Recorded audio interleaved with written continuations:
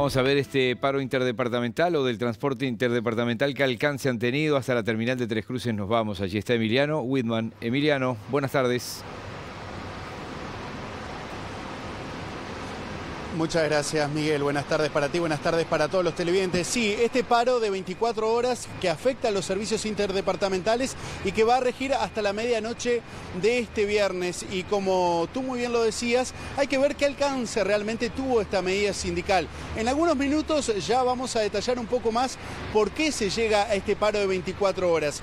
Pero para conocer un poco más cómo es la operativa a esta hora aquí en Tres Cruces, la principal terminal de ómnibus del país, ya me está acompañando el jefe de la torre de control, Pablo Saraví. Pablo, muchas gracias por estos minutos para BTV Noticias. Bueno, ¿tuvo impacto este paro? Bien, eh, el paro comenzó a las 0 horas del día de hoy. Registramos alguna movilización en lo que es la, zona de salida de ómnibus sobre ese momento y también este, en horas eh, cercanas al mediodía. Eh, sin embargo, en, lo que es este, el, resto del día ha funcionado muy bien la terminal, incluso en lo que refiere a la cantidad de servicios que han pasado este, por aquí, por la terminal, que si bien registramos una, una, pequeña merma en cuanto a los servicios, es una merma que este, realmente creemos que no es una merma importante. Es decir, eh, un viernes este, habitual de la terminal se están manejando en el entorno de unos 1.150 coches, cuando hoy manejamos 1.050. Esperamos cerrar el día con 1.050 esos 100 coches, digamos, que nos están faltando, digamos, este, para, en comparación con un viernes anterior, este, pueden ser, eh, en algunos casos son coches que se cancelaron, ¿sí? Este, pero en otros casos seguramente se, deban a que, eh, previendo esta situación de paro, los pasajeros hayan este, movido, digamos, sus viajes para este, otro medio de transporte o también para días anteriores o quizás incluso para el día de mañana. Eh, ¿Han tenido un contacto con las empresas? ¿Se ha dado la particularidad de quizás algún pasajero molesto o algo por la situación? Eh, eh, hemos tenido este, llamados de algunas de las empresas en apoyo, pero simplemente para ordenar un poco lo que son las filas de, lo que es este, el lado de las boleterías. No, no, hemos registrado ningún tipo de, información, ninguna, ninguna situación que haya requerido de una presencia de seguridad o una presencia policial por algún desmano, algún este, inconveniente este, con algún pasajero. Así que de porcentaje podríamos estar hablando, un 10%, 15%. Eh, en realidad es mucho menor. El porcentaje de servicios cancelados que tenemos al, momento ronda el 5%, que representa unos 50, 60 coches. Este, es, es muy bajo, ¿no?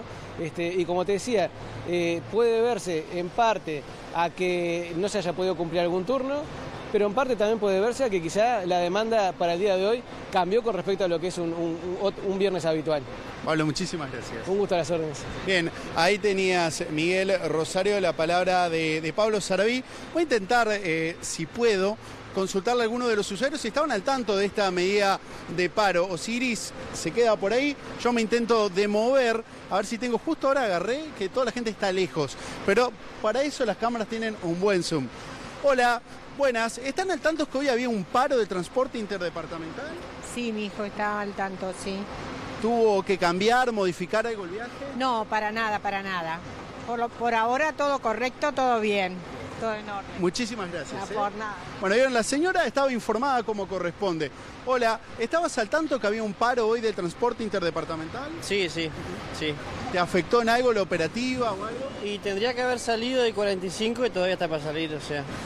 y 49, un poquito retrasado. Sí, un poquito retrasado, sí, sí. Muchísimas gracias, ¿eh? Bueno, eso es lo que están viviendo a esta hora las personas aquí en Tres Cruces, algunos eh, habitual, otros un poquito demorados. Pero Rosario Miguel, ¿qué fue lo que llevó a decretar este paro de 24 horas? Bueno, el conflicto se desata en el mes de octubre, cuando la empresa Agencia Central decide desvincular a cuatro trabajadores. Según ha denunciado el propio sindicato, bueno, esos cuatro trabajadores venían a una asamblea sindical aquí en Montevideo. ¿Qué pasó? Esos cuatro trabajadores viajaron sin pagar el pasaje correspondiente como lo hace cualquier usuario. Es por esto que la empresa Agencia Central decidió desvincularlo. Cuando se dan las negociaciones, esto todo según el relato del sindicato, reitero, bueno, la empresa acepta a reintegrar a tres de los cuatro trabajadores siempre y cuando este cuarto, que resulta ser el secretario general del sindicato Agencia Central, no retomara su puesto. El sindicato rechaza esa iniciativa, entiende que es una medida antisindical se continúan esas negociaciones, las negociaciones lamentablemente no llegaron a buen puerto y finaliza con este paro de 24 horas en esta jornada que reitero termina a la medianoche, hoy hubo una movilización aquí en Tres Cruces, luego frente a la Intendencia de Montevideo y posteriormente esa movilización continuó hasta la Torre Ejecutiva donde los trabajadores entregaron una carta. ¿Qué piden en esa carta? Que el Poder Ejecutivo intervenga a través del Ministerio de Trabajo y Seguridad Social para que las negociaciones y esos cuatro trabajadores sean retomados. Pero si les parece, vamos a escuchar lo que decía Miguel Marrero de la Unión de eh, Trabajadores de Transporte del Uruguay hoy más temprano a BTV Noticias. Eh, han sido despedidos por razones absolutamente injustificadas. Según nuestro análisis, es un claro ejemplo de represión antisindical. Uno de los cuatro compañeros es el secretario general del sindicato, un compañero con 32 años de trabajo en la empresa, que no ha tenido nunca sanciones ni suspensiones de ningún tipo. Su único pecado es ser dirigente sindical. Nosotros exigimos que el Poder Ejecutivo, en uso de sus facultades, llame nuevamente a una mesa de negociación y que ponga mayor fuerza. Particularmente el Ministerio de Transporte y el Ministerio de Trabajo deben cumplir con su rol de mantener las leyes vigentes en este país. El derecho eh, al trabajo existe, es inalienable y la empresa se lo está quitando a los cuatro trabajadores nosotros pretendemos que sean reiterados en forma inmediata. ¿Hay casos similares donde se haya despedido a trabajadores por viajar sin pagar pasaje? No, no, en ningún caso. Es un acuerdo tácito, no escrito, que existe por lo menos desde el año 2005, que existe, eh, actualmente está vigente en todas las empresas, es la forma usual en la que viajan los trabajadores, tanto hacia tomar servicio como al volver a sus hogares, como al viajar hacia actividades sindicales. Ese compañero lo ha hecho innumerables veces, como lo han hecho todos los trabajadores del sector. La empresa esta vez inventó una excusa para despedirlos y hasta ahora se ha mantenido firme y no ha negociado el reintegro de ese compañero.